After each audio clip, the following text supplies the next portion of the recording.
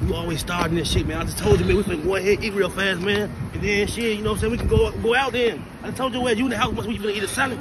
We, we, we at Friday, today Friday. Stop acting like that. Come on, man. Damn, you always doing that shit, man. You know, I'm tired of you hollering and shit at me and arguing at me. No, I don't even want to go up in here. What, what you mean? going I don't want to go. I'll go home and eat my salad. We- we like you just all- said. We keep all the way over here for this shit, man. Why, why you always doing this shit right here, right there, baby? Because you be hollering at me and all in public We and shit go, we can go ahead and eat now. No, I don't want to go in here no more. What you gonna do then, Makita? I'm gonna go home. We I'm gonna go home and eat my salad like you said I should. So we just came out the house for nothing, man. I guess so.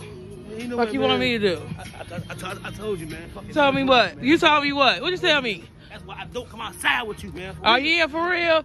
Every So time you do this shit, every time you do this shit, every time. every time I do what? Every time I do what?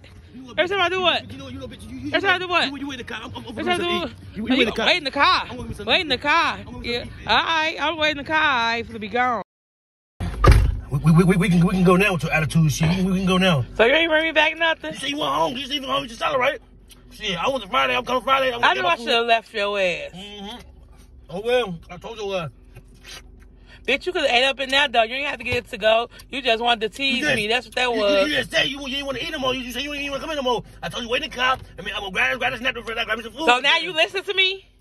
I'm gonna get. I told you, sorry. Oh, that's all right.